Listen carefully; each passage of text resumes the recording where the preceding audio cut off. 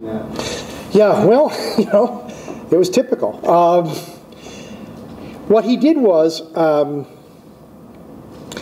in the 1927 Mississippi flood, first of all, there was no role for the federal government in disaster relief. Didn't exist. Um, under the, uh, the only exception to that, when the Galveston hurricane took place, um, some the army had, had sent supplies, uh, but basically you relied on uh, private charity and above all the Red Cross. What happened in 1927 was that here's this disaster that is so much larger than anything else that had ever happened. And um, what Coolidge did was to send Herbert Hoover, uh, the master of emergencies, the man who had fed Belgium in World War I, who had organized the food administration uh, here at home, uh, and someone whose name was synonymous with relief.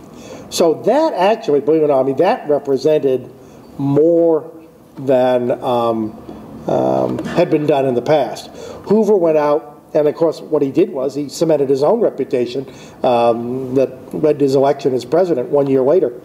Um, and he came back. Coolidge, Coolidge, in the end, acceded to flood relief, but he believed that it set a dangerous precedent. That if you once said government has a role, particularly uh, in a mass disaster, you know, then before you knew it, that role would be institutionalized for lesser events. And again, it's um, it's not a modern way of looking at things, but it's um, it has a certain integrity.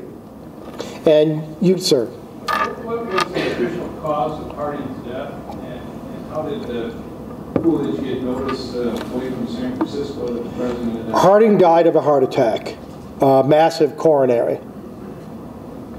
Um, although that's still being, you know, debated by, by scholars. Um, Mrs. Harding had nothing to do with his death. Um, contrary to what, you know, some people, some sensationalists, we didn't invent, you know, sensationalism. Um, what happened was the news from the um, hotel in San Francisco was, of course, immediately uh, telephoned to Washington. And, um, and a call, the, the Coolidge household, the Coolidge farmhouse in Plymouth Notch, in addition to having no electricity and no indoor plumbing, did not have a telephone. So uh, the news was telephoned up to Rutland, Vermont, which is a few miles away, and uh, and there was this kind of mad dash in the middle of the night to to carry the news up to this isolated hamlet.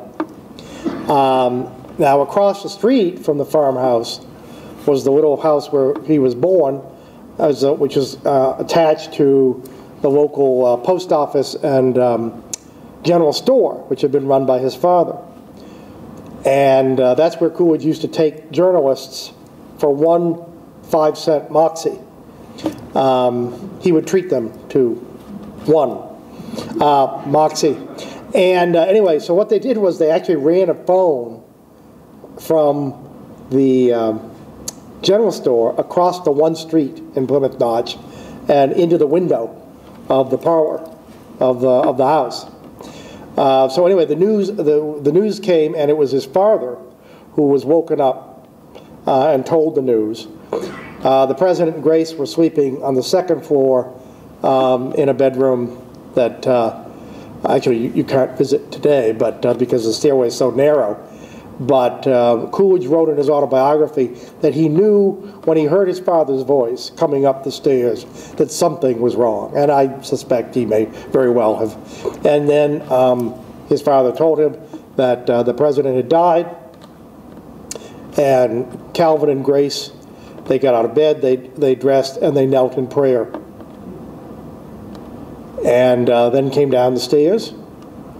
And at 2.47 in the morning, in the front parlor, the room where his mother had died, the room where his sister Abby had died, a room rich in emotion and memories, uh, by the light of a kerosene lamp, with, I believe, eight onlookers.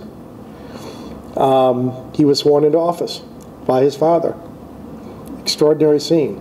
Of course, the sequel is uh, he had been told by the Attorney General, the aforementioned Harry Daugherty, that this was perfectly legal because his father was a notary public.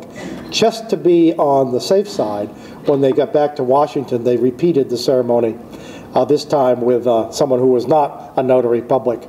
And, but, you could, but that was done secretly. What, what, what the public seized upon the defining moment of the Coolidge presidency was this extraordinarily primitive yet appealing scene in a Vermont farmhouse in the middle of the night. Thank you very much. See you tomorrow.